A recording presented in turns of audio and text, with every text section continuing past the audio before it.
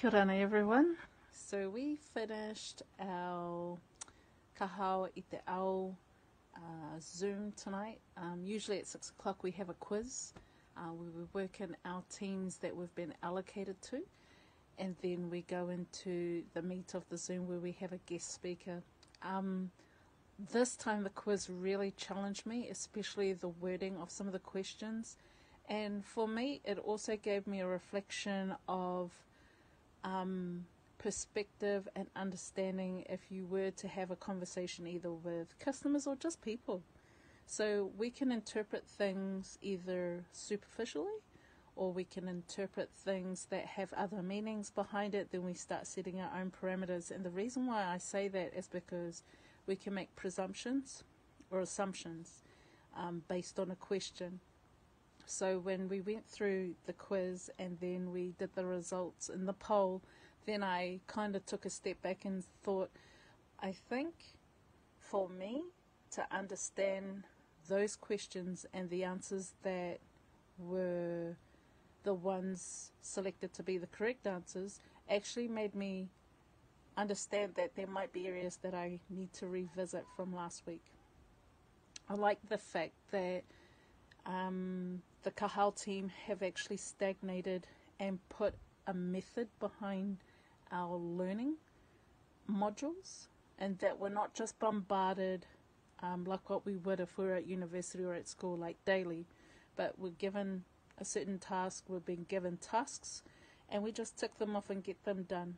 And most of all, to reflect on what we're learning. So, my biggest takeaway from that is the three main keys to e commerce and how I need to go back and revisit that. And actually, I'm going to start putting up post it notes all over so I can be reminded of all these little steps. The reason being is, you know, a tree doesn't grow straight away. It needs the seed, it needs to be nurtured, and it needs to have the right elements. And every step that Ka Hao has given us so far has been the right steps forward. Um, I know for myself I wanted to rush in and get the link for Shopify, but I'm in no such rush at the moment. So once I get the main points down so that I am preparing myself and positioning myself in the best, most profitable, or even the highest probability of me being positioned to get onto my online e commerce business, which is very exciting, which I've just developed my um, survey. So I'll be sending that out and possibly posting that up onto my page very soon. If not tonight, then definitely first thing tomorrow morning. And also, the biggest takeaway of tonight's speaker, I think her name was Aeneas. Um, I didn't want to be rude and ask again. Um, amazing, Wahine Toa.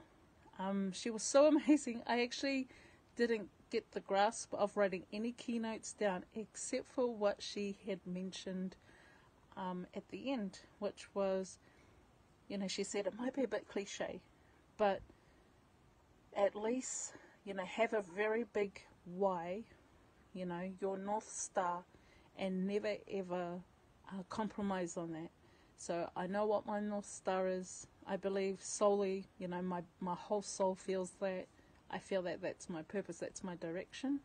Um, and I'm going with it. And she said, just don't waver from that because what will happen is that you may get distracted. And you know what? We do get distracted. Um, we might see a nice shiny knob over there and we'll chase that when really we should have been just going the path that we were going on before. But it's great because God knows how to move you back in alignment and your soul knows as well. So you get that intuitive nudge from inside to move forward.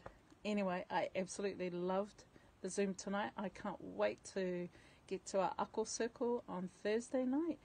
And what I've learnt so far through the module that was just released earlier huge, huge, and it's exciting. So people be blessed, and I can't wait to share another video on during the week. Ka kite.